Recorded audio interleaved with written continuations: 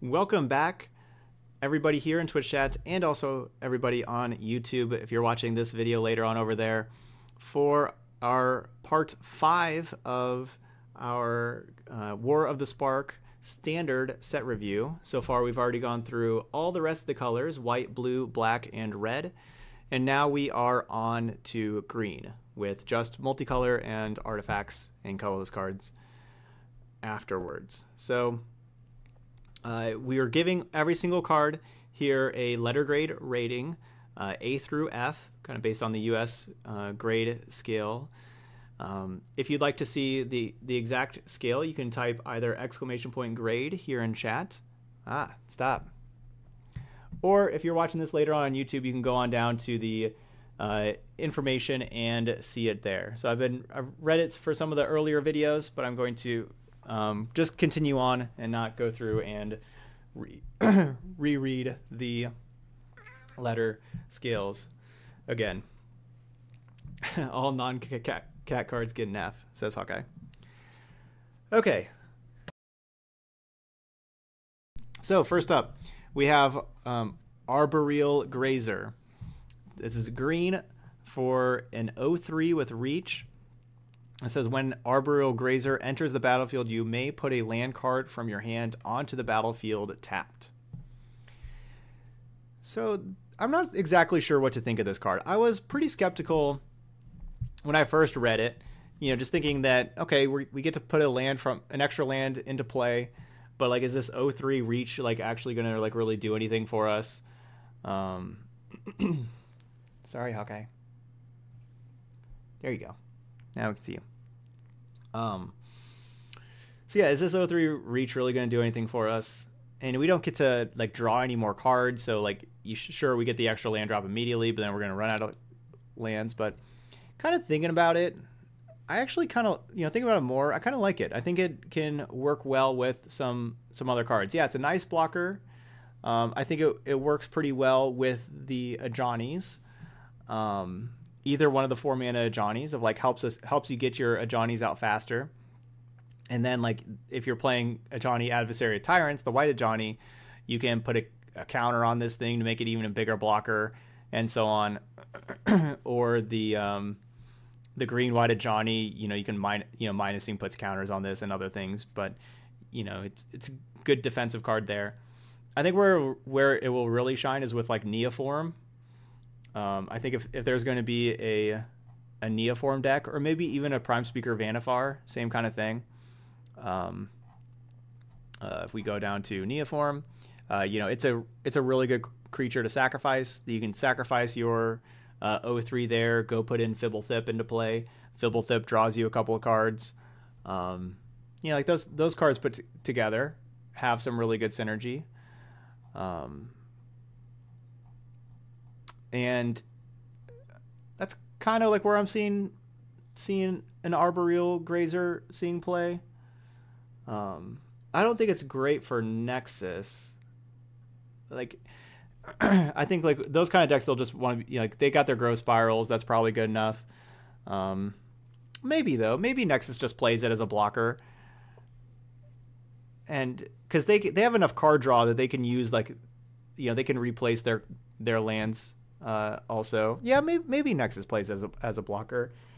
I'm not sure. Like their deck's already like pretty good. I'm not sure if like Arboreal Grazer is better than anything in their deck. Um, I think I think like Neoform kind of deck is like really where you're you're looking at Arboreal Grazer as like like Prime Speaker Vannifar and Neoform like those those those kind of cards. Um, uh, this is on this is on Wizards website. This is their card gallery on their website. Um, yeah, and yeah, you can pump it up with the one one counters with like with the Ajani, um, also, and you know you can start attacking with it. It does not have defender. Uh, yes, you are crazy for thinking this is better than Llanowar Elf. yes, that is crazy. Um, it is not better than Llanowar Elf. Uh, it has good synergy with Tatyova, yeah, that's true. Get that extra land into play, draw a card, gain a life. So I'm thinking this is like a, a D plus. I think like sometimes you'll kind of see it in standard, a little bit underpowered. Um, but you know, it could it could be a role player in some decks. Um, so how do plus one plus one tokens work on Gideon and Blackblade? Uh, the the one one counters just stay on there, and he'll like he'll be a five five on your turn with a one one counter, and then on on your opponent's turn, it's just a planeswalker that has the one one counter still on it. It doesn't the one one counter doesn't go anywhere because Gideon Blackblade doesn't leave the battlefield or anything, so it works just fine.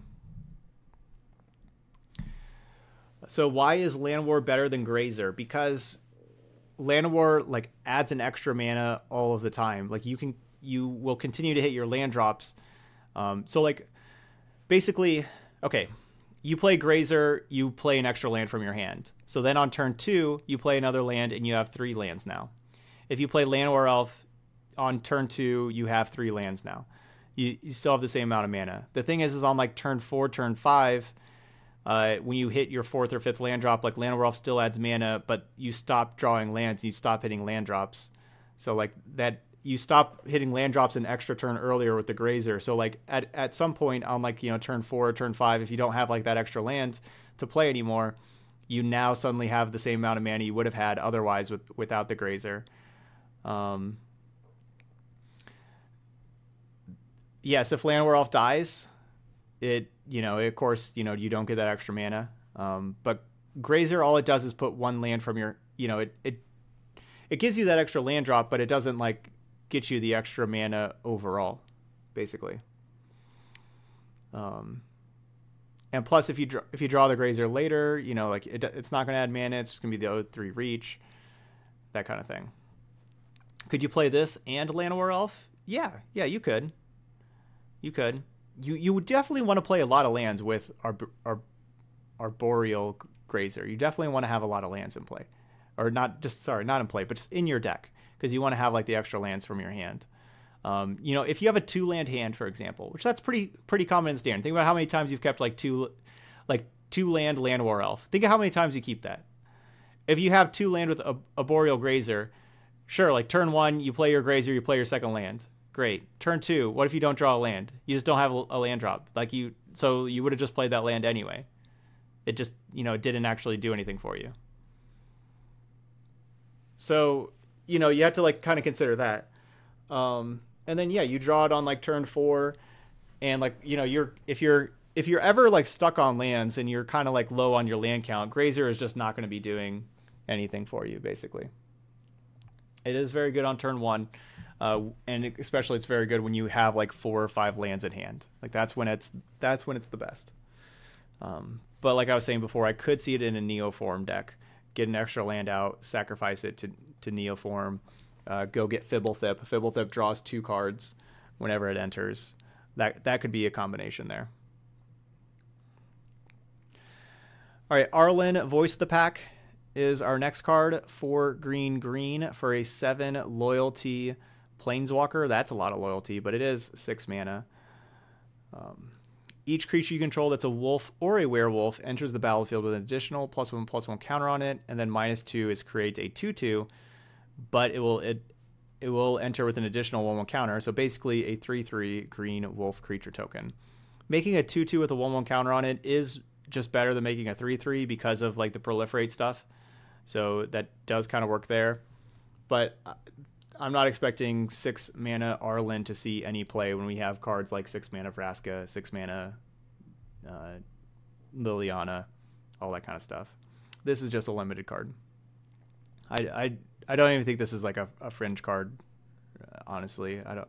Yeah, if if somebody wants to make a, a, a wolf tribal deck, I guess I guess this could be like I guess this could be like Mirror March, basically. The you want to build a janky wolf tribal deck and have Arlinn in it. All right, so I guess it could be a D for that. For yeah, for so for wolf tribal. Um, yeah. Okay.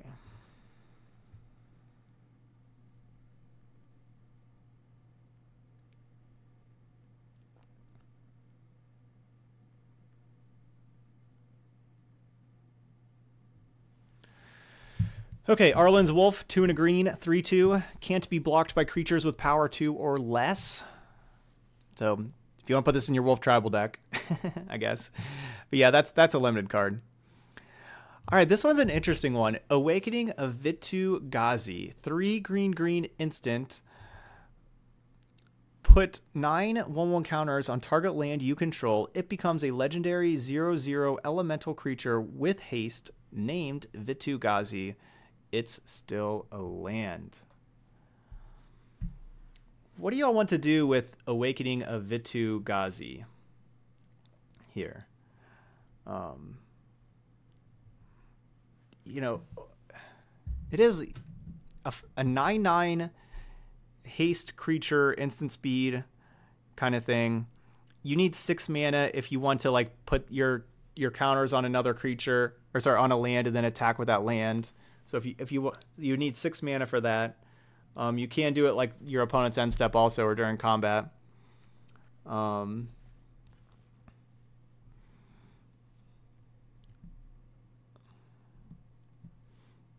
is this is this the card to make Simic Ascendancy a thing? Like where you need 20 counters on your your permanents on your creatures? Like Vitu-Ghazi gets you 9 of it right there. They do just stack well, right? Like you can just put you can just put the other nine on the same on the same land again, right? You can put nine and then nine on the same land and have 18 right there.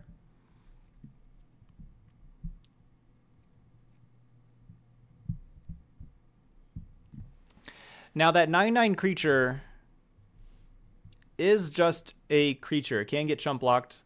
It doesn't have trample, doesn't have any kind of evasion at all. It is just a, a 9-9 creature.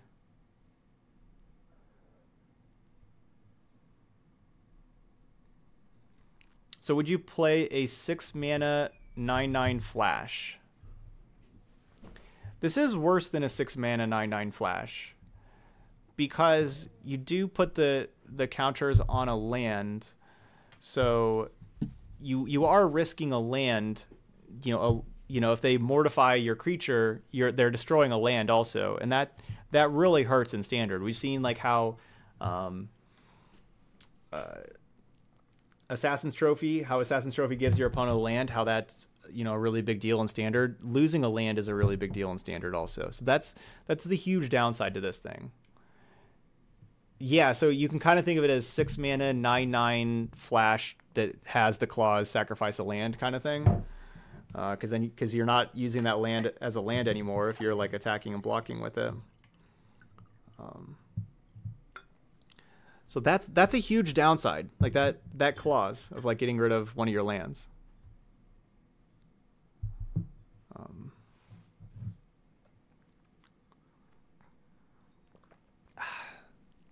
there is yeah, you can pair it with Tamik.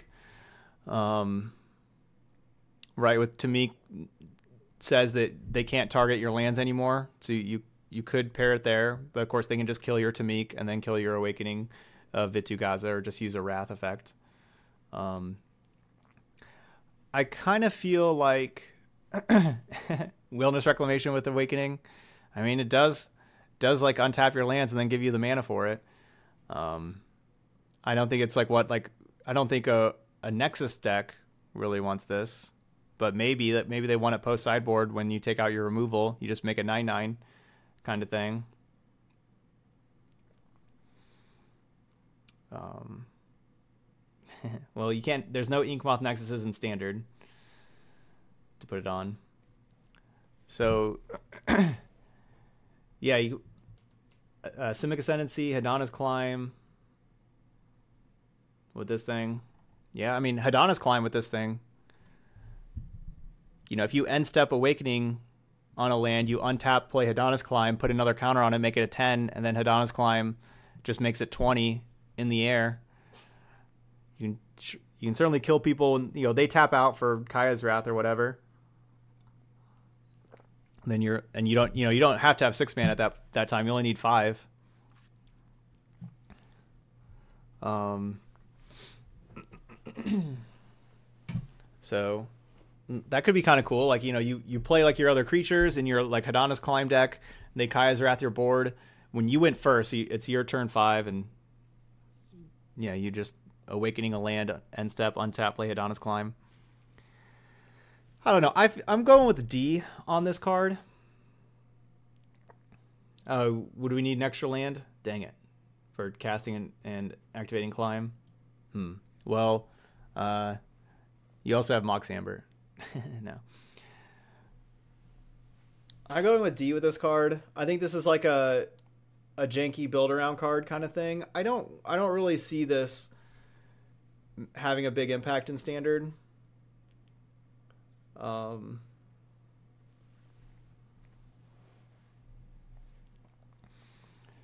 So what happens if you do this on mobilized district? Then when you activate mobilized district, it, it mobilized district becomes a 3-3 and then this also and then it also has 911 counters on it. So it, it would be a 12-12. So yeah, you'd get you'd get a 3-3 with 9 counters. Yeah. So I'm going I'm rating Awakening of Vitu-Ghazi a D.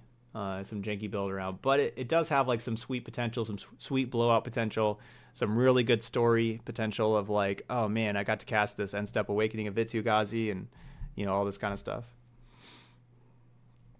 Band together, two a green instant, up to two target creatures you control each deal damage equal to their power to another target creature.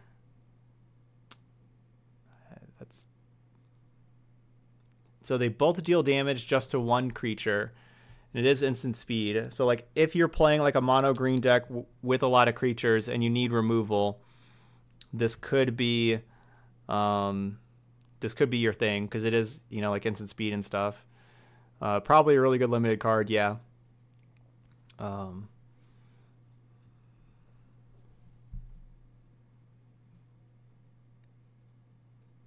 so yeah, this is you said this is the closest thing to real mono green removal you've seen. It's, it's pretty close to real mono green removal. Um, it's yeah, like there there was like the the two mana instant speed fight, but like this though that other creature doesn't deal damage to your creatures, right? So your creatures are safe. I could see this like if you're playing a mono green deck that needs removal, this this could see play. Um, correct. Yes, you can use this, a second awakening on the same land to make it an 1818. Yes. Yeah. Um, yeah, if your Boros Heroic deck is Naya, then this is amazing with Feather. I see. I can see that. This this could be amazing with Feather. I could see that.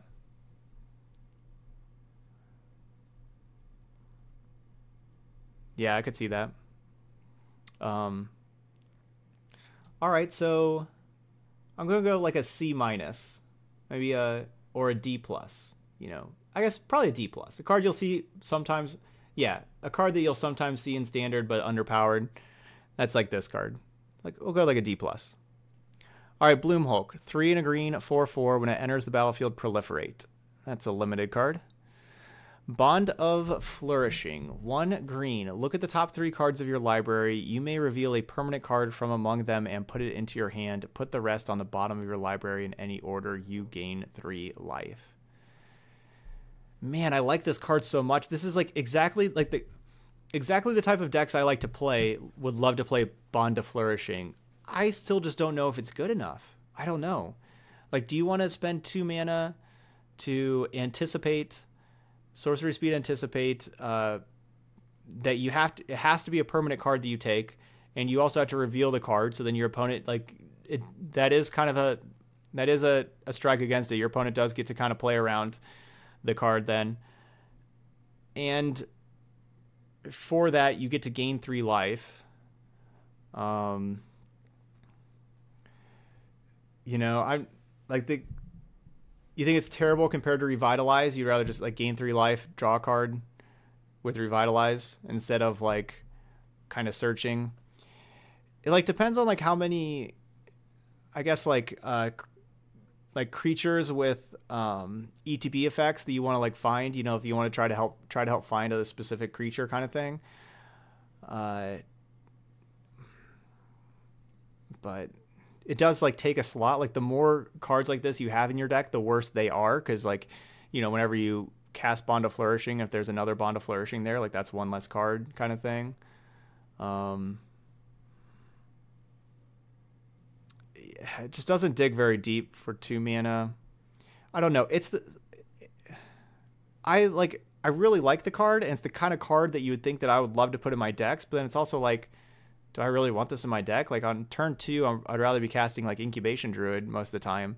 This is it's perfect for in the very late game whenever you just have a bunch of mana and you don't have any cards in hand. It's a great card to draw where you get to look at the next three cards to look for your Vivien or your Hydroid Krasis kind of thing.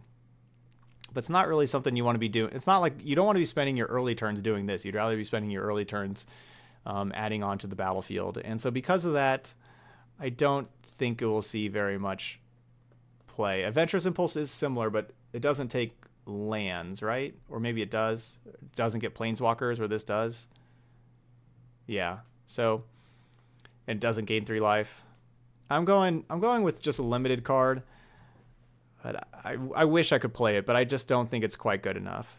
Yeah, so impulse is land creature. So this is land so you get gain three life plus get planeswalker for the most, you know, obviously more things, but just like for like the most part for like the deck that you want to play it in for an extra mana. And I don't, I don't love it. I don't really love Adventurous Impulse either. So going with just limited. Vitu-Ghazi with Narset's reversal. Yeah, you can you can put your Vitu-Ghazi back in your hand with the Narset's reversal. Get to copy it there. All right, Centaur, Centaur Nurturer, three and a green, two four. When it enters the battlefield, you gain three life. Add one mana of any color. Um, no, I don't think Simic Reclamation plays uh, Bond of Flourishing. No.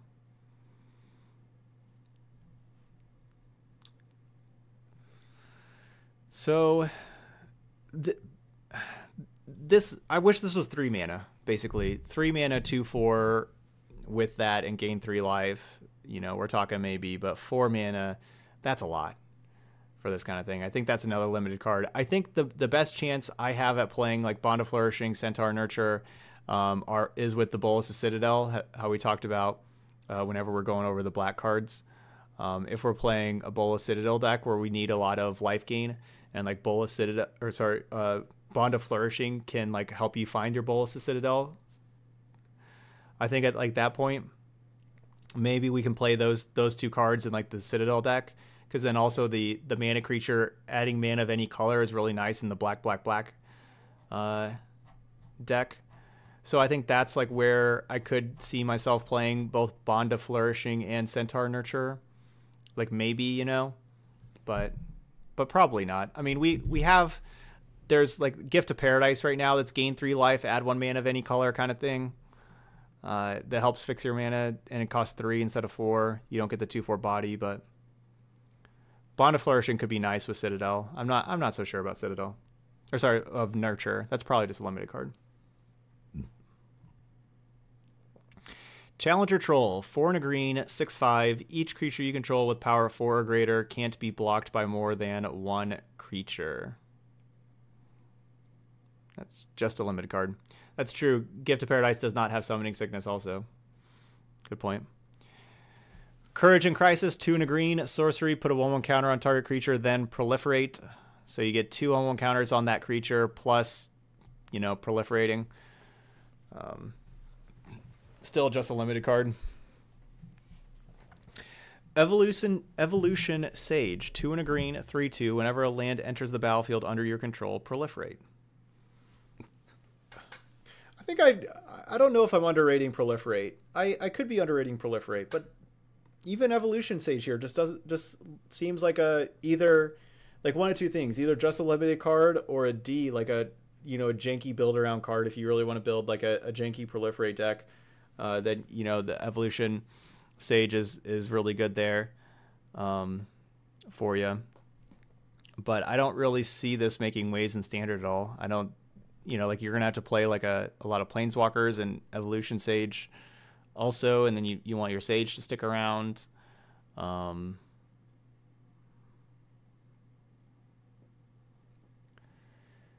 yeah, so your Simic card so you, okay, so if you if you're playing Simic adapt stuff, so if you if you adapt your Simic card which you know like those mana costs are, are kind of expensive to adapt but you play your simic card you adapt it and now you have the counters on it then after that then you can have your evolution sage and then your land drop to then proliferate your counters on your Simic Adapt creatures. I, I just feel like I'd rather, at that point in the game, I'd rather just have a better threat than Evolution Sage. Like, you know, it's not like I don't want to be top decking Evolution Sage when after my opponent like kills all my stuff and I don't have anything, and then you just draw this Evolution Sage and you're like, what is this card doing in my deck? Kind of thing. Um, yeah, you do have like even Wild Growth Walker, Jade Light Ranger. I mean, what what in Sultai is worse than Evolution Sage? Because I think the answer is nothing by a long ways. Um, really, so riot creatures, creatures with riot. Yeah, I mean, there's so yes, there are things you can proliferate, but I just, I don't know.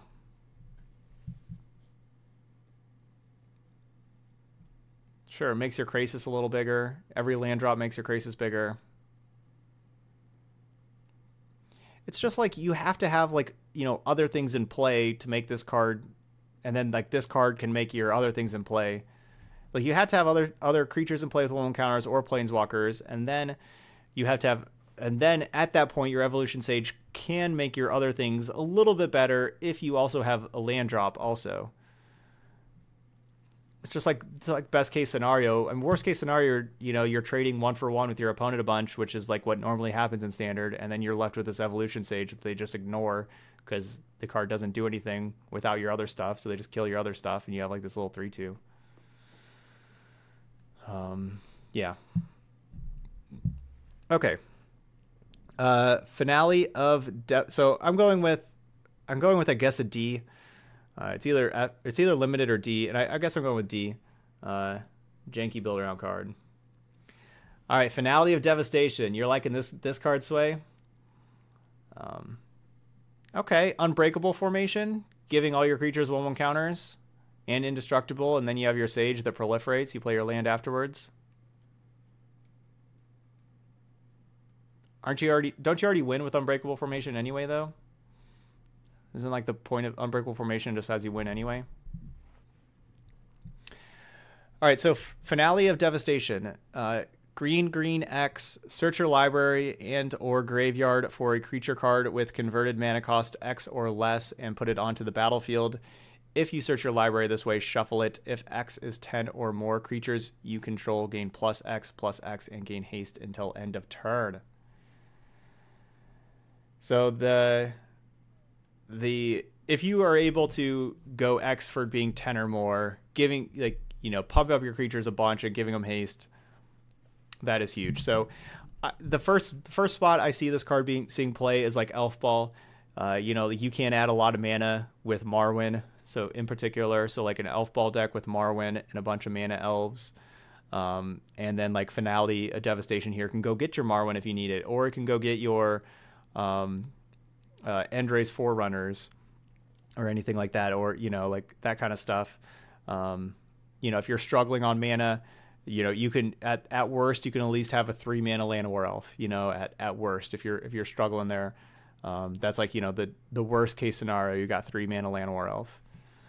Um, I I love it with Fblthp. Yeah, with Fblthp, you get, uh, and so you know like like your elf ball deck can certainly be Simic. You know, we've played Simic elves because you you just play Hydroid Krasis in your elf deck because that card is awesome with a ton of mana. So you can have Finale of Devastation also as like more um, good good things to do with a lot of mana. Um, Nikya the Old Ways doesn't work with this because uh, Nikya the Old Ways says you cannot cast non-creature spells. So you, I mean, you can go find Nikya and put it into play, but when you have Nikya and adding a lot of mana, then you can't cast this Finale of Devastation. Um,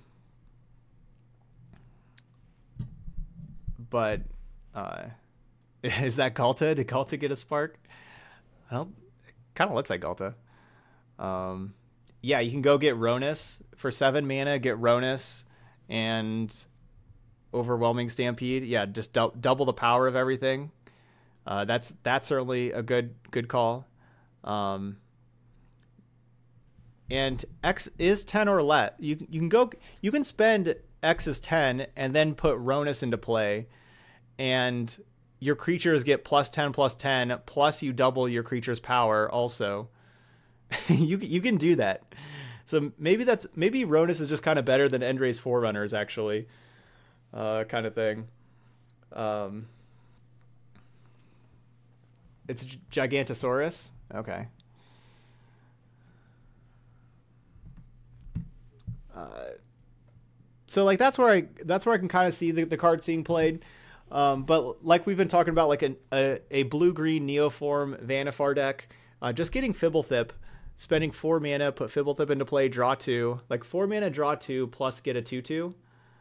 Now I guess it's a one one at that point. So four mana, draw two, plus get a one one. That's not so bad, especially when you have other ways to to sacrifice your one one and do other things with it. Um, like that's pretty good there. Um, so like those are some janky decks you know, like those aren't like really, you know, like tier one decks or anything right now. Um, if you put it in an ooze, yeah, it would be it'd be two 12 12s with haste. Yes, if you spent X's 10 and put in biogenic ooze, um, I guess maybe maybe it's just one because I guess you have to finish this thing and then the ooze would make the other token.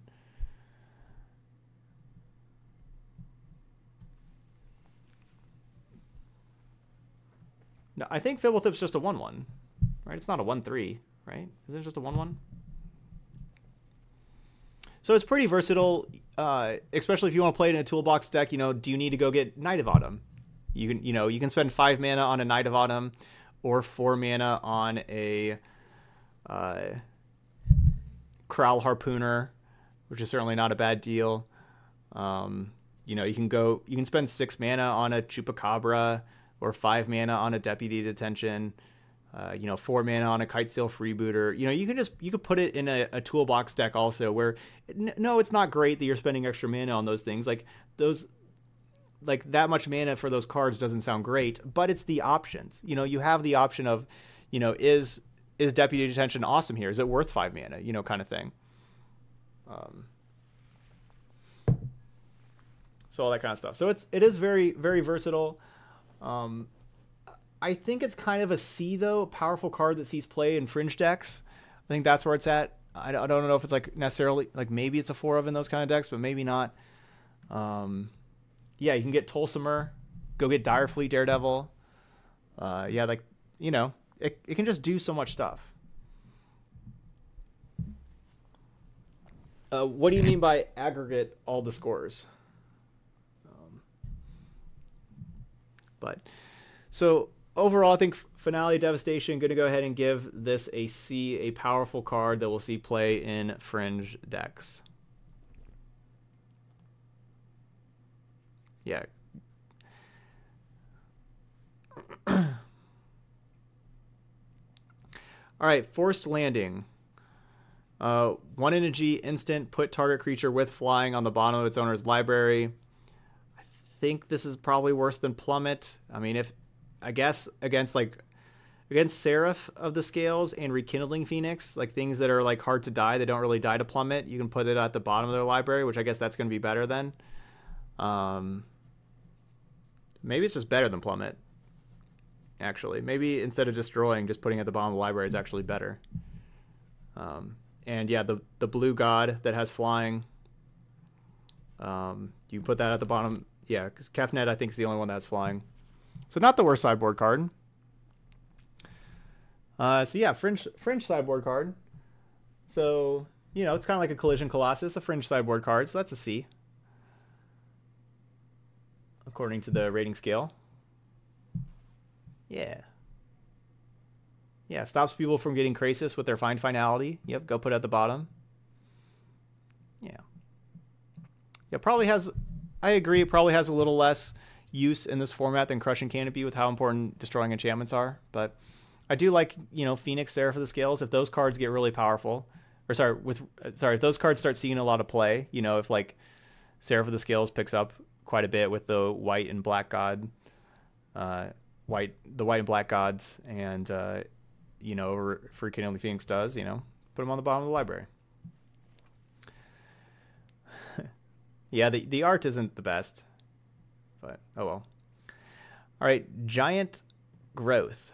Single G instant target creature gets plus three, plus three until end of turn.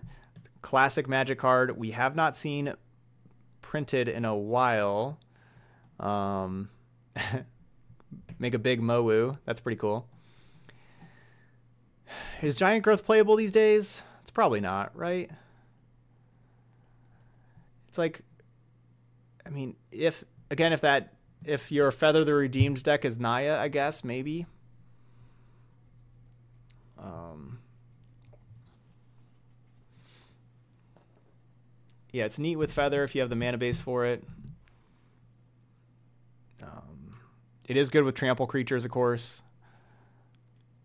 I mean, I, I definitely see it being played. Like I think it's I calling this like a D. I definitely see like think you'll see this on standard. I think like this is going to be like a, a mono green uh, starter deck kind of card, where people are jamming this in their mono green starter deck that like that's going to get you, kind of thing. Um, but all right, so that's that's where I'm going with it. D. All right, God Eternal Rhonas. 3 GG, 5 5 Death Touch. Whenever God Eternal Rhonas enters the battlefield, double the power of each other creature you control until end of turn, and those creatures gain vigilance until end of turn. And then whenever God Eternal Rhonas dies or is put into exile, you may put it into its owner's library third from the top. All right. What do y'all think of God Eternal Rhonas? Is this is this an A? It's probably not like you know, an A like a format staple among multiple decks. Maybe. I mean it's it's not like a four of kind of thing. It's likely not like a four of, but it's it's certainly really good. We've talked about how it's really good with with Ilharg the Raze-Boar. Um, you know, we've talked about that. It's you know, it's a good card to find with Finale of Devastation if you want. It's it's a good uh, Vannifar thing to be able to go find. Um, it doesn't do anything on an empty board. It's just a five five death touch on an empty board, and so that's that is kind of a problem because like think about like, um, hey, it's still not bad. Mitchin went went three one with Azorius aggro. That's pretty good. Um, very good. Yeah, good job. We do think about like like all the different biogenic ooze decks that I've been playing and how many times we play biogenic ooze on an empty battlefield. It just happens all the time with you know how much removal and interaction there is in standard. And so at that point, you are just kind of playing a five mana five five death touch, which is fine, but it's not that's not spectacular. So it does it it really does want um, a battlefield to already be there to to do stuff.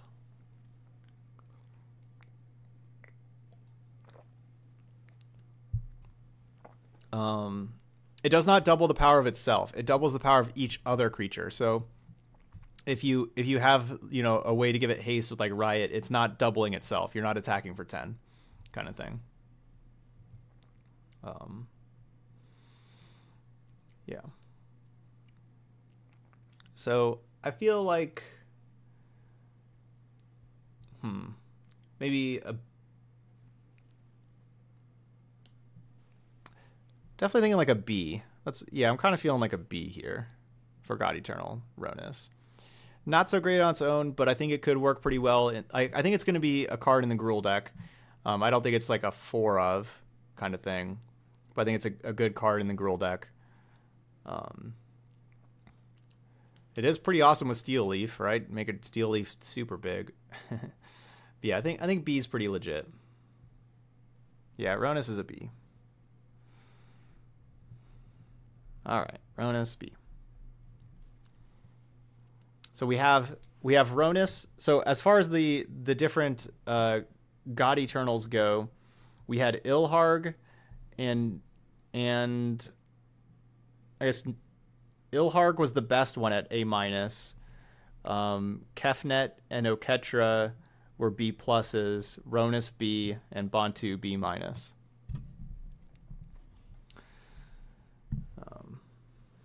Yeah, I think this is a good Gruul card. I think that's where Rhonas fits in, is, is with Gruul.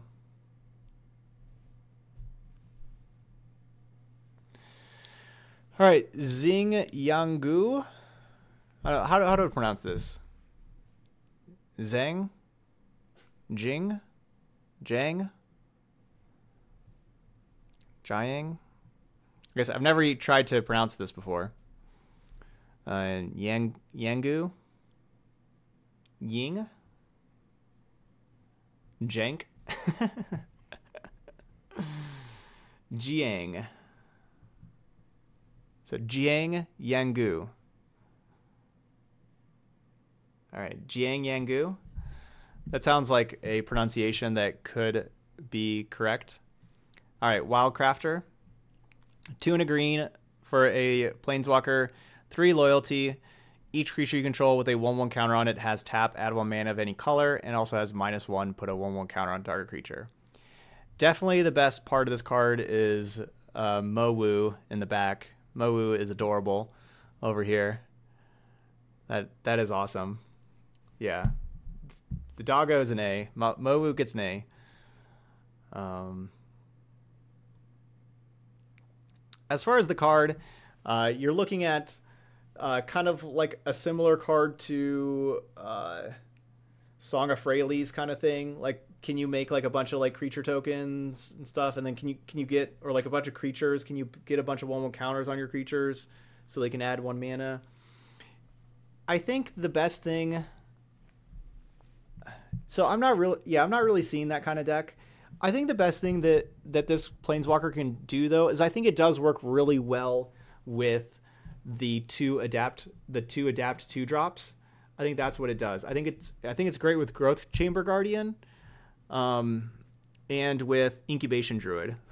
You know, like if you play Incubation on turn two, you play this on turn three, you put a counter on Incubation Druid, and then your Incubation Druid adds three mana again, so then you can do something else also um, on turn three as well.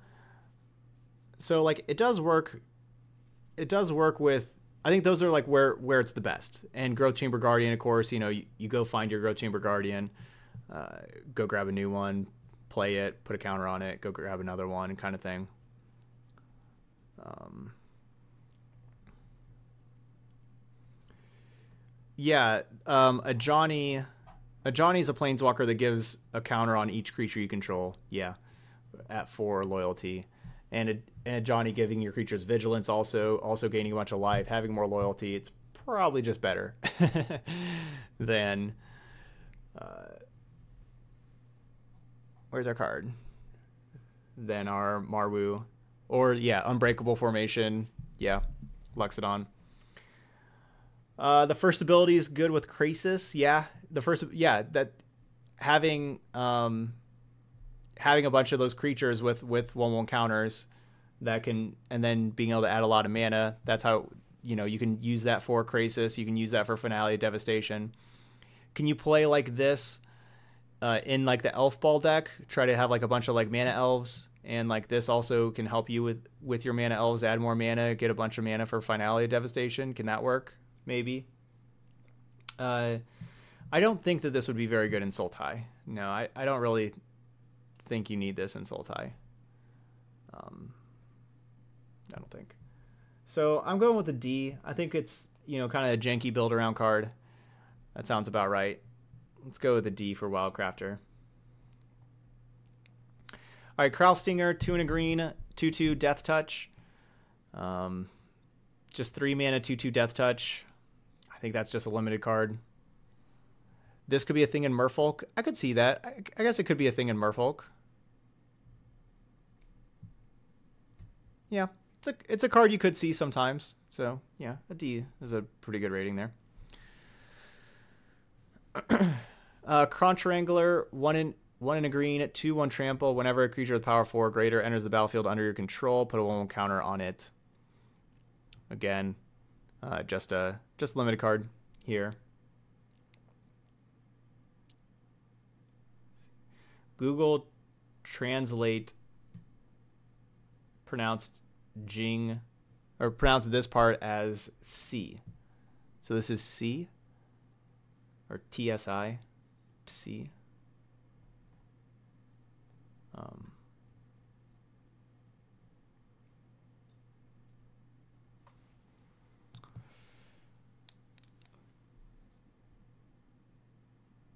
yeah, that didn't that didn't seem like a the correct translation. That doesn't seem right. All right, Mowu loyal champion. A for doggo. A for art. A for, you know, loyal, good loyal boy. Um. Yeah, y'all are saying A plus. There, A plus, S tier. Three and a G, three three, trample vigilance. If one or more loyalty counters would be put on Mowu loyal champion, put that many plus one one one counters are or that many plus one one one counters are put on it instead. So you think this is similar to Gatebreaker Ram could be playable? I think it's a lot a lot less powerful than Gatebreaker Ram, unfortunately. Um, this is unfor- Mo is just a limited card, just getting the limited rating, but still A plus also. Uh, this is this is not a, a B card. This is not a. I don't think this is a B rating. No, I don't, I don't think this is a. I don't think this card will see standard play. Unfortunately. It could go in the Simic Ascendancy deck. All right, you want to yeah, you want to put it in the Simic Ascendancy deck and get a bunch of counters on it. All right. Okay.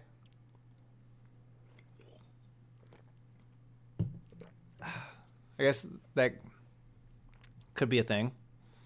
Um, I guess I could.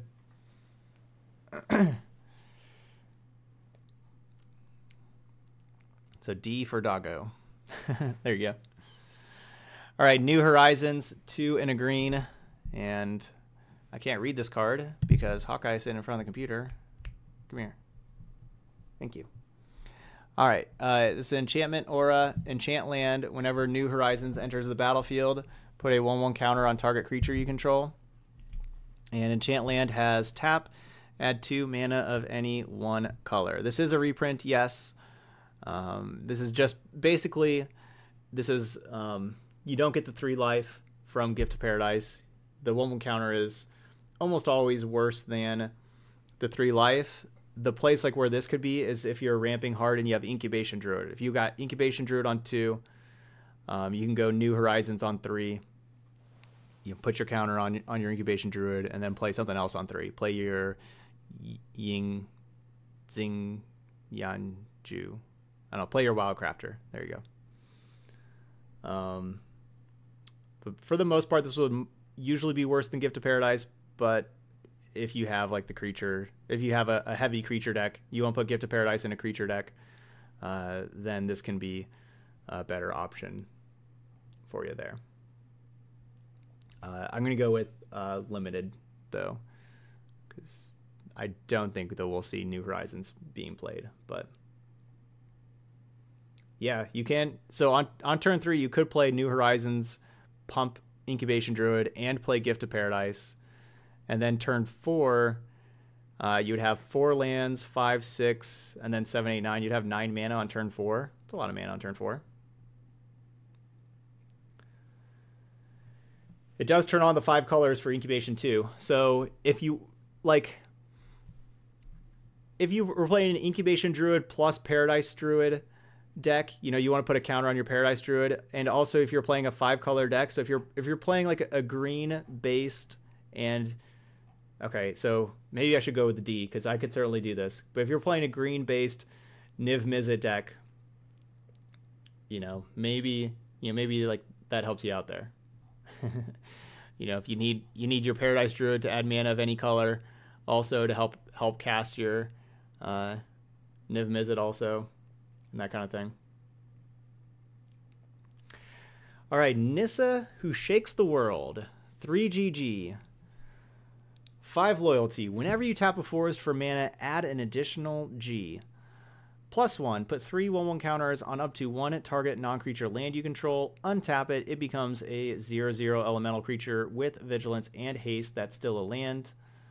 Minus 8. You get an emblem with lands you control have indestructible. Search your library for any number of forest cards, put them onto the battlefield tapped, and then shuffle your library. Nissa, whose text box is not big enough. Basically. Okay. So a few things about Nissa.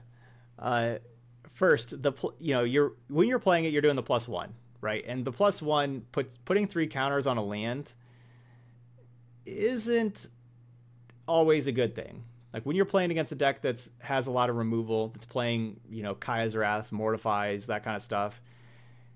Throwing your lands out there to die into like Kaya's Wraths is not good. Uh, that's that's not something that you want. Um, so there is some real downside to the, the, the tick up, you know, when when your opponent's playing sweepers. However, that that first ability is amazing. Having all your forests add an additional green mana, that is very, very powerful. You know, if you're going with Hydroid Krasis, you know, being able to get tons of mana for Hydroid Krasis, that's a really big deal. Also, how we are just talking about uh, this finale of devastation, being able, you know, if you're playing Elf Ball with Nissa, where you're trying to add a whole lot of mana, finale of devastation, uh, this is a way to cast it. You know, like this, this is awesome with that. Yeah, because you don't, you don't have to exactly. That's that's what I'm saying. It's up to one, uh, up to one target non-creature land. So you don't actually have to with that. But basically, the the main reason to play Nissa, who shakes the world, I think, is this top ability of just it's just a, a five loyalty planeswalker that you may not actually do the the plus one with stuff. You know, you may just plus one and not actually choose any lands, and just you know kind of plus one and not choose any land and just get loyalty. But this first ability is amazing. Uh, there's so many ways to use all that extra mana in standard. And it is any forest, not just basic forest. So Breeding Pool adds an extra green mana and you can tap breeding pool for blue and then add a green mana also for example. Overgrown tomb adds an extra green um, and so on. So so that's that's awesome. So I, I feel like nissa is a really good in, in elf ball deck. Make a lot of mana use it on the finale of devastation kind of thing. If if we're talking about jank uh, uh, if you want to play Simic Ascendancy and you want to get some more counters, I mean, hey, plus one, you get three one one counters. That's that's three counters for your Simic Ascendancy deck. You know, each each plus activation gets you three counters. so there you go. If you want your jank Simic Ascendancy deck. Um, yeah, Wilderness Wilderness Reclamation is definitely a, better card than Nissa. I think like Wilderness Reclamation is is really busted. Nissa is similar, but probably worse overall. Um, but that doesn't mean it's not good enough to see played, basically. Um, uh, so yeah, March of the Multitudes. That's another good good card that you can add. You know, add a whole lot of mana, get March of, March of the Multitudes, instant speed, absolutely. Um, yeah, reclamation is so busted that if you're just comparable, you're you're probably pretty good. Uh, yeah, you, you can maybe have both. You can have your Nissa and your Wilderness Reclamation deck, so your Forest add multiple green mana. I mean, you can. So,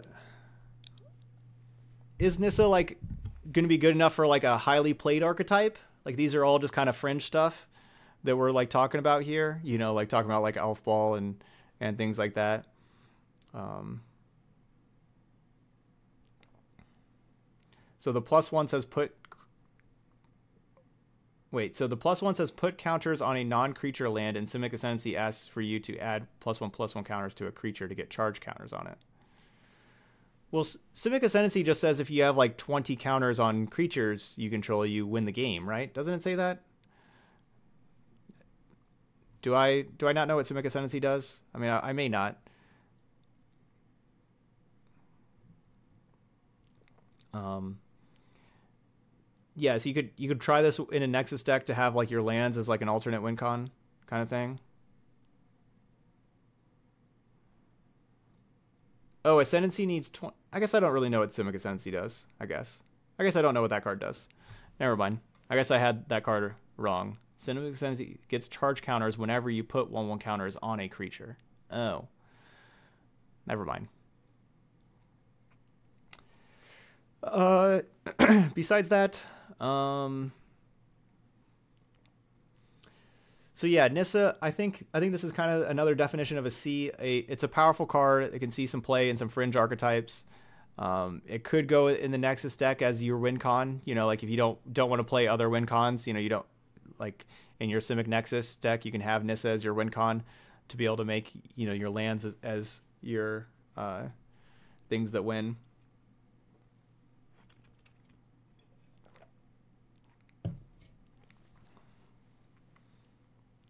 Okay, so the the nine, yeah, so the Vitu-Ghazi doesn't work with Simic Ascendancy. Um, dang. I I did guess I was wrong. Of like I thought, you know, I I just didn't know what Simic Ascendancy did. I guess I had it wrong. I I was thinking you just needed twenty counters on creatures in general. All right, uh, Nissa's Triumph, green green sorcery. Search your library for up to two basic forest cards. Uh, if you control a Nissa Planeswalker, instead search your library for up to three land cards. Reveal those cards and put them into your hand. So you get any three land cards you want. You want Field of Ruin, you want Arch of Orazca, you want Blast Zone.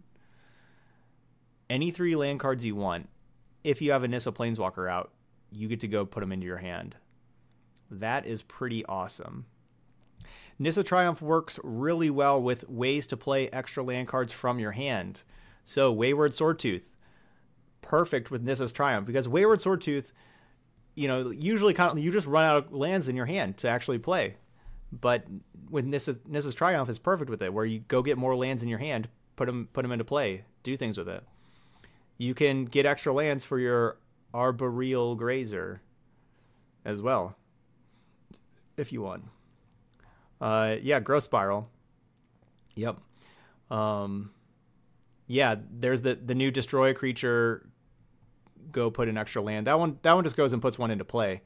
Um, that just shuffles your library and goes yeah goes finds it puts into play. But um, yeah, so Nissa's Triumph it can it can be a, a, fringe card that sees some, sees some play in, in some of these like these fringe kind of decks, but it is like if you have the Nissa Planeswalker out, that is really powerful. Like, I mean, obviously that's that's that's basically impossible in modern to get that clause, but think of how good this card with that clause would be in modern, where you can just go put uh, Urz, you know, Urza's power plant, Urza's tower, and Urza's mine into your hand, or go put Valakut, Valakut, Valakut into your hand.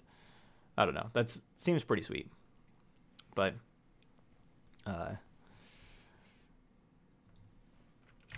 yeah, that's that's basically impossible to do. But yeah, Blast Zone is the big thing uh, in standard, probably like like Blast Zone, Arch of If you're you know if you get a lot of extra mana, you want Arch of to draw more cards, kind of thing. Um, hey, Frisky Biscuits is sub number 10 on the day. Thank you so much, Frisky Biscuits. So that gets our sub goal on the day. Let me scroll down just a little bit. There you go. All right, so hitting that sub goal uh, means that that counts towards our next sub battle stream. So we were. Um, so that's that's what I'm doing here. Each time we hit a, a, a, sub goal, I decided to do this instead of the sub battle countdown. Um, I think this this is a little better. So that gets gold number 8 out of 15 for doing the next sub battle stream. Of course, tomorrow is going to be a sub battle stream, as you all know, uh, but the next one after that. So each time we hit a 10 sub sub goal, uh, it marks it towards that. So thank you so much, Frisky Biscuits.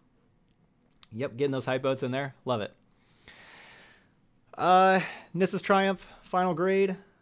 Yeah, sub battle tomorrow. And it's a 12 hour stream, noon to midnight tomorrow. um, final grade, um, maybe a a C minus. No, no, no, no. D plus. D plus. It's just, or maybe even a D. It's just like a card you'll see sometimes in standard. Maybe like a D, but it, it, I feel like I'm going to be building around this card with Wayward Swordtooth. I'm going to play Nissa's Triumph Wayward Swordtooth deck for sure, uh, but it's going to be pretty janky. So yeah, getting if if you're able to get three utility lands, that is amazing. If you you know have enough mana out, get three utility lands, start uh, Um, having those lands add a, a, bunch of you have your Nissa in play, so those lands add a ton of mana. So like you know, go get your Arch of Orazca that all your forests add a lot of mana, so you get to draw more cards. Love it, love it, love it. Frisky biscuits. that is a, a that is a fun two words to put together. yeah, it doesn't have to be that Nissa. That's the only Nissa in standard though, right? Is there any other Nissas in Standard? I think that's the only one. Anyway, uh, Paradise Druid, one green, two one has hexproof as long as it's untapped, and taps add one mana of any color. I love this card. It's an elf. That's really cool. Um, I love playing mana creatures. I hate when my my opponents kill my mana creatures, and this has hexproof. Um, when you play it until you get to use it, so I love it. Definitely love this card. Um, how good is it? I, I don't know. We have we have a lot of mana creatures already in standard that are good. Um, I I'm gonna go with a C here for Paradise Druid. Uh, I think it's probably worse than um, Incubation Druid overall. Like Incubation Druid's ability to turn into a three five and add a lot of mana is really good in late games. But I, I love this card. I love how it has hexproof. I love how it adds mana of any color. It's, you know, real good in my like Niv Mizzet deck kind of thing. I'm gonna I'm gonna be playing some Paradise Druids. I'm gonna find some homes for homes for this card. Um, it does die to Chainwhirler. That doesn't mean it's unplayable, but it, it does die to Chainwhirler. Um, but that's okay. Uh, yeah, it's pseudo Sylvan Caryatid. Um, Paradise Druid, cool. Yeah, it's an uncommon. Yeah. All right, Plane-Wide Celebration. Five green green for a sorcery where you choose four. And you can choose the same mode more than once. Four. Create a 2 2 citizen creature token that's all colors. Nah, just 2 2, whatever. Return target permanent card from your graveyard to your hand. Hey, that's that's better than draw card, right? Like you you get to choose whatever creature, you know, it's kind of like find finality. Like, I love it. Take it. Yep. Good. Proliferate. Meh. Uh, meh. Well, you'll see. Maybe you maybe you have a, a battlefield where the proliferate part matters. And you do get to proliferate four times, actually. So I guess if hmm. I guess if you just have a Vivien in play and then you cast this card, you just get to ultimate your Vivien. I guess that's pretty good. Yeah, I guess four proliferates probably win the game with just like any planeswalker for the most part. Okay. All right, never mind. Actually, that's that's pretty good too. And then there's also gain four life, which gain four life is awesome. Do that four times, gain 16. That's pretty sweet. So this, I feel like I'm going to play this card in my Nissa's Triumph, Nissa Who Shakes the World deck. You know, get some proliferate going. Like if you're Nissaing and putting some one one one some three one one counters on your creatures, you can start proliferating those things up, make those a lot bigger. Um, it, it's not really exponential. It just adds four counters if you proliferate four times. You know, like it turn a three three into a seven seven. Basically, it adds one one counter four times. That's what proliferate does. Um, I, I like Plane-Wide Celebration in my Bolas Citadel deck. Um, you know, Bolas Citadel, how you just start you start uh, paying life instead of paying mana cost. So you pay seven. You have to have seven life. You pay your seven life, and then you gain sixteen. That's that's a good trade off. And then with your 16 life, you start casting more cards. So love it there. You know, like that's that's pretty good. Or you can just or you can gain 12 and return a permanent uh, from your graveyard to your hand or whatever. Um, yeah, uh, you can have this with yeah with new Teferi. They can give it flash uh, or they can get make your sorcery instant speed and you're playing wilderness reclamation for more mana you can do that i'm not going to be doing that of course i don't i don't like my i don't like rec- i don't like wilderness reclamations i don't i don't really play that card and by i don't really play that card means i've never played that card and don't ever plan on playing that card um i guess i have played that card off of a thief of sanity whenever i stole my opponent's wilderness reclamation and nexus of fates i guess i did play it then but oh well yeah, so you can gain 12 plus return something like your Nissa that died or anything. I don't know. This card this card's pretty cool. Definitely really janky, uh, for sure. But I'm gonna be playing it in in my janky decks. So I'm going I'm going D. Uh, a card you maybe some sometimes see in, in standard, uh, janky build around card kind of thing. Let's go with the D for Plane-Wide Celebration, but I like it. Awesome card. This is this is definitely a a card that uh, I will be uh, having fun playing. Yeah, I, I do like how it instantly, like you know, just ultimates your planeswalkers, your Viviens, your Teferis, uh, that kind of stuff. Your Nicol Bolas, just just uh, ultimate those things immediately. All right, Pollen Bright Druid. One green, one one. When it enters the battlefield, choose one. Either put a one one counter on target creature or proliferate. Hmm.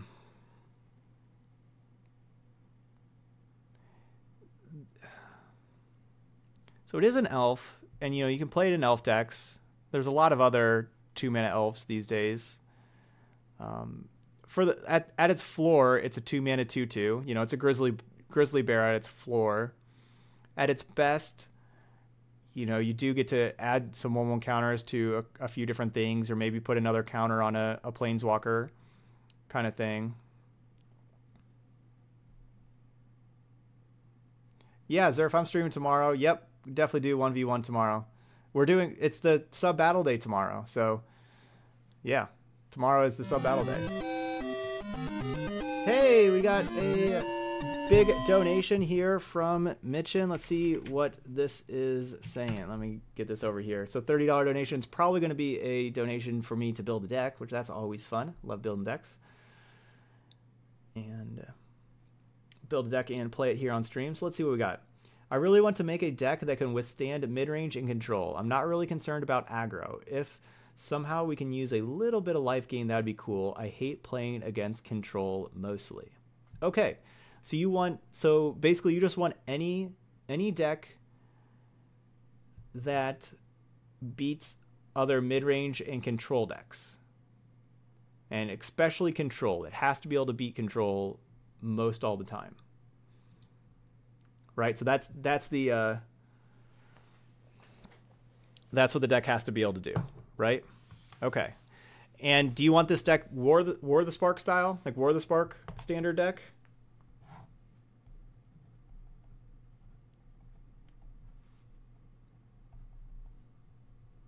So it's an anti-control and mid-range deck.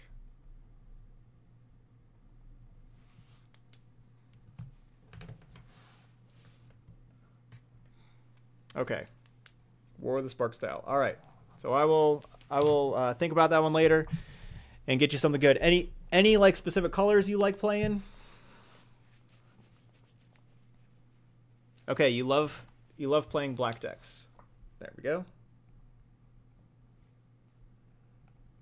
All right, I can work with that. I can work with that. Um, so Pollenbright Druid back to this card, I feel like it can be a filler card for the right archetype. Um, it can be a a role player kind of thing. I'm not too sure it will be. And I I think I'm I'm going to just give this the limited grade. It does has potential to be a, a limited it does have the potential to be a role player in some kind of deck but I think this is just going to be a, a limited card. I, I'm not I'm not sure just proliferates good enough to put it on a two mana one one body, basically. I, I don't think it's there. Um, I guess it does. Okay, I guess you are. Do you want to spend a card to put a counter on like your incubation druid or your growth chamber guardian? I think you're just not doing that, right? The mono blue guy that draws cards? You mean like the, the Benthic Biomancer that like draws a card, discard a card? Nah. I don't think we're spending a card to do that, right? But then then you can proliferate them. All right, so maybe a D. I guess I guess maybe a D here. Um, but I yeah, with incubation druid, it's it's kind of like free, but then it's you know costs you that card. Yeah, it's it's either a limited card or maybe a D. You know, could maybe see a little bit of play. Does put two counters on Marwyn. That's that's the places. Does it fit in the elf deck? You know, does it fit in the elf deck with incubation druid and Marwyn? I think that's the biggest spot. Like you know, if you're playing our you know our, our elf ball deck, do we have room for this? There's already a lot of other good elves you know, like would we rather just have Paradise Druid that puts, you know, that's also just a lot better on its own by being able to add mana and also puts a counter on on our Marwyn and stuff. Um, all right, Primordial Wurm. This is a limited only card, six mana, seven six. Um, even with its elite training and single-minded devotion, it is still just a limited card. All right, Return to Nature one in a green instant. Choose one. Destroy target artifact, destroy target enchantment, or exile target card from a graveyard. So this is just a strict upgrade on Naturalize. Naturalize has been a pretty solid sideboard card in general. This does the same thing of destroy an artifact or an enchantment, or you can also just exile a, card from a graveyard. You know, if you're playing against Arclight Phoenix, you need to exile that Arclight Phoenix from the graveyard. There you go. You have your Return to Nature. So um, yeah, just a, a, clean sideboard card here. Right, yeah. So this is, um, is it going to be a very common sideboard card that basically all green decks are, you know, like a lot of green decks are playing Return to Nature kind of thing? It's got to be very common for, you know, like Cindervines, for example, where basically every every green red deck is playing that to try to beat Wilderness Reclamation. Is it a very common one till it's a B? I don't know if it's there and I don't think it's a fringe sideboard card for a C. It's probably between those. So I think it's either a B minus or C plus. I think it's kind of it's a it's a sideboard card that's that's in between those two, uh, probably where it's like a, a B minus C plus. Hero says it's a C. It's probably closer to a C of like a fringe sideboard card. So I think I think it is. I think it's closer to C than than B. So I would go with C plus then, or if not C plus, then C, because I think it is closer to to that if you're playing green, why would this not be in your sideboard?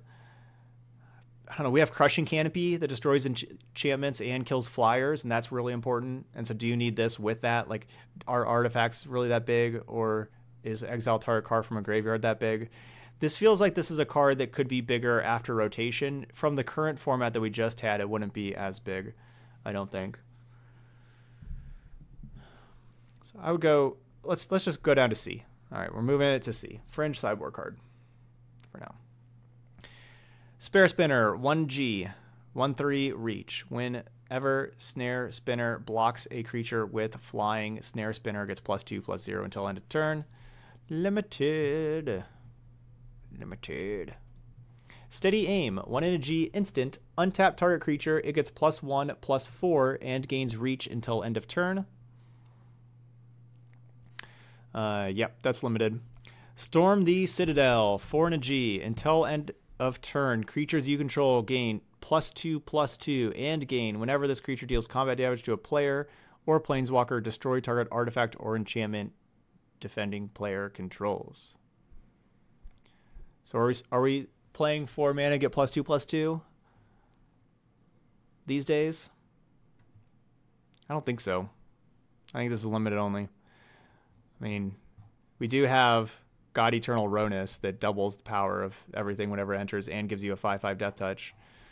But this, I mean, I guess if you're playing against Wilderness Reclamation, like, you know, Simic Nexus, you can, like, destroy all their Reclamations and Azcantas, but then they probably just use a fog. You know, you play this, and then they just, they just play a fog. So, all right, limited. All right, Thundering Ceratok 4 and a G, 4 5 trample. When it enters the battlefield, other creatures you control gain trample. That's a lot worse than the God Eternal Rhonas. So that is a limited card right there. yeah, if they have the multiple reclamations, we probably already lost. All right, Vivien, Champion of the Wilds. Two and a green, legendary, planeswalker. HawkTie, you got to move out of the way so I can read the card. Okay. Come on. Move out of the way. Come here. Come here. Thank you. You may cast creature spells as though they had flash. Until your next turn, up to one target creature gains vigilance and reach is the plus one ability. And minus two, look at the top three cards of your library, exile one face down and put the rest on the bottom of your library in any order. For as long as it remains exiled, you may look at the card and you may cast it if it's a creature card. Okay. So, a couple of things about this. Uh, so, at three mana, you get to plus up to five loyalty immediately. I, I love the first line of this card. The first line of this card is awesome. The first line of the card being you may cast creature spells as though they had flash. That is awesome. Love that. The the plus one, sure, you give a, a creature vigilance and reach. HawkTie donated thirty dollars. HawkTie with the donation. All right, so Selesnya Cats. All right, we're gonna make a Selesnya Cats deck. Saying I've been playing your Abzan Cats tribal deck and replacing Twilight Panther with Charmstray to make it and we'll make it easy to drop a black. All right, Selesnya Cats. So HawkTie, do you want? He's looking at me. Uh, would you like me to play that um, like on Sunday, uh, or you know, or sometime next week, you know, before War of the Spark comes out, or do you want me to wait until after War of the Spark comes out and have the the War of the Spark cats in it also? Which which one would you, which one would you like me to do to make this Lesnia Cats deck? Um, you know, I can play it. You know, tomorrow we're doing the sub battle stream, so it's not going to be tomorrow, but we can play it Sunday or next week, or, um, okay. So HawkTie says, wait till after so we can get Charmstray. So then, all right. So then after war. Okay, cool. All right. Yeah, so Vivien gives you Wilderness Reclamation, Hydroid Krasis. Yeah, this is that's insane. Yeah, so uh, yeah, you can have Vivien, Wilderness Reclamation, Hydroid Krasis because your creature spells have flash. That is awesome. Giving a creature vigilance is pretty nice because you you allow the creature to be able to block for v- Vivien. Like that's really good. The big thing I'm, I'm concerned about here with this Vivien is honestly the minus two three cards is not very many. You're going to whiff on that minus two quite a bit. And, you know, like you're not going to have a creature in your top three all the time. Like that's going to be a, like, that's not a guaranteed, you know, you get a creature kind of thing. I think that's, that's something that people may be underestimating is how much you actually miss with this minus two. Especially if you're playing like Wilderness Reclamation in your deck. You know, the more non creatures you're playing in your deck, you know, if you're playing like other Vivien, five mana Vivien, and so on. Um, well, right. You you can exile. Yeah, you exile any card. You exile one card face down, but you can only cast that card if it's a creature card. Um, otherwise, it's just otherwise it's just a bluff. Yeah, you just otherwise yeah you're just exile one of the cards. If it's not a creature, you can't do anything with it. So it's just it's just sitting there, and they may think of like whatever. They're like, oh, what are you gonna flash in here, kind of thing here. Um, yeah, it could be good with the new gods and like basically a creature only deck. Uh, it is, you know, it is nice with uh, wilderness reclamation if you want to do that, of untapping your lands so that you can cast more creatures, kind of thing. Um, yeah, you you don't have to minus two. I mean, you just plus one, give your creatures vigilance and reach. You know, is that is that really that great? Giving your creature vigilance and reach? Not really, but giving your creature spells flash that's awesome. All your all your creature spells having flash is awesome. So yeah, Simic Stompy, uh, really good. And yeah, it is only a three man investment, so you know, like you're not you're not actually spending very much, and it starts out with a good amount of loyalty. But then the minus two can hit, you know, like if if you're, it's kind of like Domri, um, Domri, how Domri looks at four cards and you take you can take two.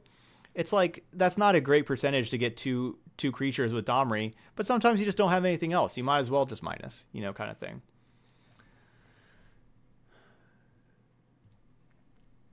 Um, so I could see this being, yeah, maybe like a, a, a B defining card in a singular highly played deck or a role play, just probably just like a role player that sees play among multiple decks. That sounds like like Vivien. A role player that sees play among multiple decks. I don't think maybe like B plus. Um, I wish the plus ability on Vivien was better. It's it's kind of it kind of reminds me of compare Vivien to Rhythm of the Wild. Rhythm of the Wild being three mana enchantment gives your creatures riot, which you know either another one one counter or haste, and also makes all your creatures not be able to be countered. This is kind of like that, where it's like three mana. It's not an enchantment; it's a planeswalker, but your creatures have flash now, so that's kind of like not countered, or that that's kind of like haste. Um, and then yeah, the plus one. It it will do things at times, but not not always. Um, but like there's there's times like the reach could certainly help you out and everything like that. And there's times your minus two can get you a, a card. Um, so is this? Yeah, so this does give reach and vigilance to a, a creature, and you can play your other ones like flash. Is this appreciably better than Rhythm of the Wild? Maybe but I feel like it's it's kind of similar power level. Um, the minus two does work really well with the gods. Like anytime uh, one of your gods dies in like combat when you're attacking with your god and they block it to kill it, it goes back. Then you can minus two post combat, go grab it again. Uh, yeah, I'm I'm gonna go with B plus. Let's go with B plus with Vivien. I I like it. I, th- I think it is probably better than Rhythm of the Wild, but you know, I just wanted to kind of compare it to something else there. Um, yeah, let's go to B plus. All right, Vivien's Arkbow. This one, yeah, this one just you're correct. Era, th- this Arkbow here needs to be talked about a little bit here, right? Ox says we need to call this Lil Vivien. Lil Vivien. What? How about just Lil Vivi? Right? Like this should just be Lil Vivi. Yeah, that's that's her rapper name, Lil Vivi. Or just Lil Viv. Just Lil Viv. All right, we'll go Lil Viv. All right, Vivien's Arkbow, 1G for a legendary artifact. Pay X generic mana and tap it and discard a card. Look at the top X cards of your library. You may put a creature card with converted mana cost X or less from among them onto the battlefield. Put the rest on the bottom of your library in a random order. All right. So this card is is something else let's let's start talking about like our, our different CMCs here for like like how much we're gonna pay. Like let's say we're paying three mana. Like Vivien's Arkbow costs two. Let's say we pay three. So we pay three mana, we tap, we discard an extra card, like an extra land card, for for example. We get to look at three cards, and then we need to put a creature card with CMC three or less from among them onto the battlefield. Already talking about how it's kind of difficult to actually hit a creature with just three cards. Like sometimes, like it's not very guaranteed. So this you'd have to hit a creature with, with the three cards, and that and it would also have to cost three or less. I think you could certainly whiff a lot at three there, and you're also discarding a card to, for that price. Um, so Frisky Biscuit says it's 95% hit rate if you're paying 30 creatures and X equals 4. So you'd have to have 30 creatures that all cost four or less, right? Because you can't. So like it doesn't hit gods at x equals four, right? Like if you're, if you're playing like Rhonas and and uh, Ilharg, for example, you're not hitting one of those. Like those wouldn't count. So you'd have to have 30 other cre like. And are you gonna have 30 creatures and are, are you gonna have like like how are you gonna ha- like basically how how are we having 30 creatures in our deck with you know like 24 lands and the Arkbow and we probably want cards like Vivien or Domri, um, you know, and stuff. And it's hard to have that many creatures, kind of thing. Anyway, um, yeah, I feel like I, think Shalab is, is kind of like where we're at. I think I think Elf Ball is is where I'm at with this. You know, Elf Ball where you have a whole lot of mana creatures, so you can get a lot of mana. Uh, you can discard your extra lands because you already have a lot of extra mana, and then um, and you have a lot of mana you can pay. Um, I think it works really well there. Um, it does work with the gods where you know if you can pay five and you know you have a god die, you put it back on top. You can pay five and discard a card and put your god into play. I think that that works really really well. Um, yeah, x equals four. You can get the blue god. You need x equals five for like the other gods. Uh, and you're you're probably playing this with the other gods. I doubt you're playing this with the blue god, right? Like the blue god cares about instants and sorceries. I don't think we're playing Vivien Arkbow in that kind of deck. So famous gates has that's that's what I'm feeling too, and Versus said that too. I feel like this is a, a, sideboard card against control, really. Like that's that's really where we want, right? Like we want uh, against control, we make our threats not counterable because you know, like we just put our creatures into play. We can do it instant speed. We can do it at, at their end step. We can at their end step, we can spend all of our mana, activate our Arkbow, uh, discard, you know, land or a creature, you know, basically discard a card, see what's the best thing we can get that doesn't, you know, die to their Kaya's Wrath or whatever that turn, untap with our creature, and so on. Um, so I think I think that's I think those are like the, the places where we're looking here. Hey, thanks, Famous Gates. Thanks for that sub. Thank you so much. That's sub number 11 there. Um, so I think those are the two spots where I'm, I'm really interested in uh, Vivien's Arkbow, either in Elf Ball as like a two of, as somebody said earlier, like that sounds pretty good. Um, where we can try to be a big mana deck kind of thing, where we also have a lot of cheap creatures, or a sideboard card in our like creature deck against control. The kind of problem with the sideboard against control though is like that's that's really where you want like your your planeswalkers and stuff too. And there's a lot of good planeswalkers in like green plus other colors, like especially for Gruul or something like that. There's a lot of good planeswalkers there. Are we going to be like a Sultai deck? Like with, you know, Krasis that, you know, we draw a bunch of cards. Like, are we going to want it like there where we can maybe get, you know, like uh, our explore creatures that we can find with Arkbow or uh, Hostage Taker, you know, Krasis doesn't really help us putting it in, obviously. Is that kind of deck, you know, Chupacabra, is that kind of deck going to want an Arkbow? I, I don't know.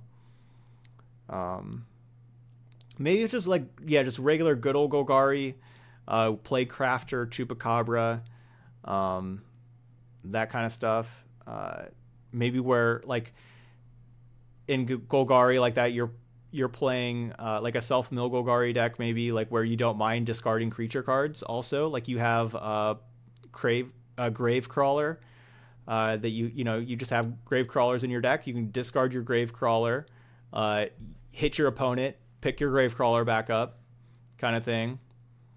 Um, or gutter bones. That's the card I'm thinking of, not grave crawler. It's gutter bones. Is that's uh, old cards is grave crawler. Gutter bones is the card I'm thinking of. Sorry yeah, so gutter bones. Um, yeah, real good there. You can discard your, yeah, you can discard your squee, discard your squee, and then just recast your squee. Um, yeah, you can get you can get end step thief of sanities, uh, kind of thing. Uh,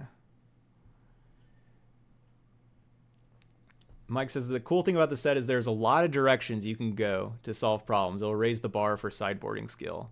That is true. Like especially like there's a lot of like anti-control sideboard cards, right? Because control does look pretty good, but then there's it's like which of these are we playing kind of thing. Um, yeah, like this.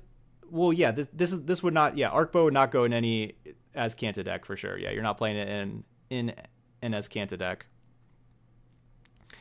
Can you imagine like the the one time you have like you have just like a land in hand, and your opponent plays whatever devastating spell.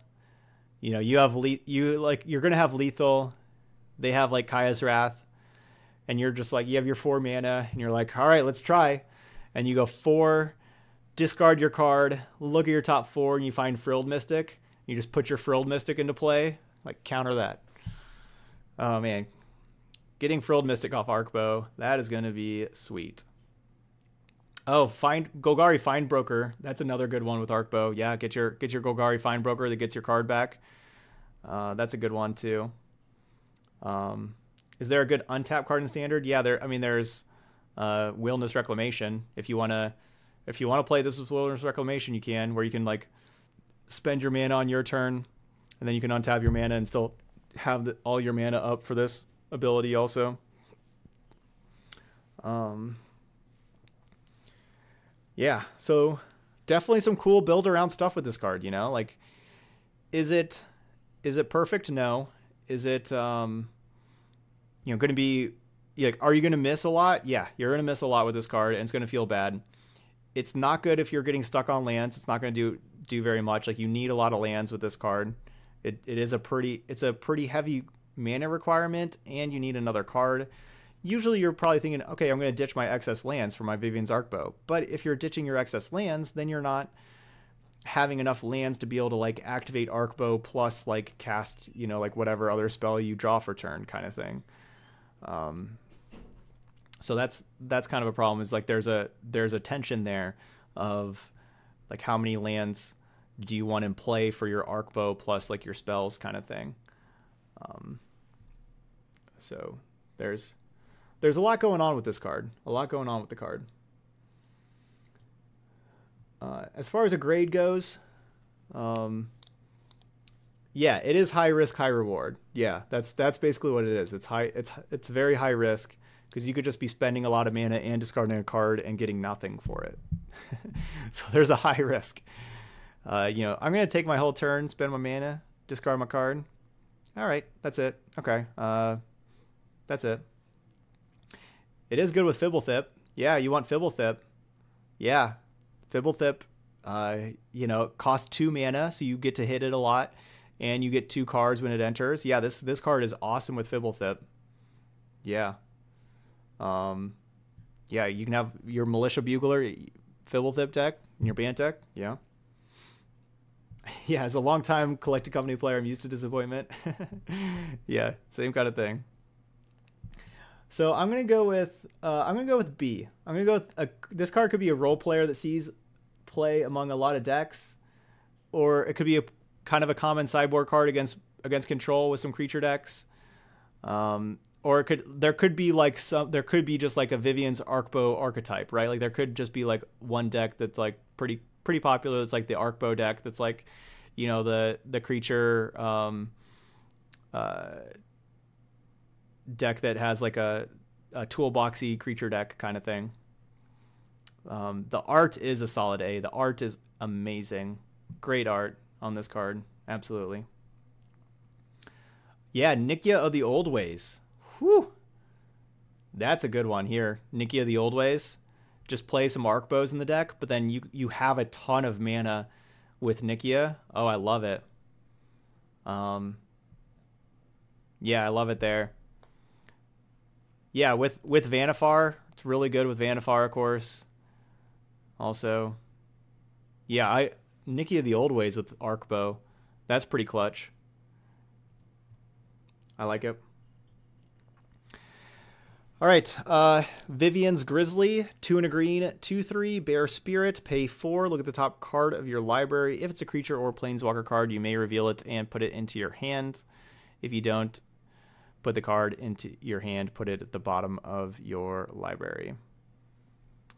I mean, I guess if you want this in your Nikya of the Old Ways deck and you're just playing all creatures and you want your card advantage, you got Vivien's Grizzly here.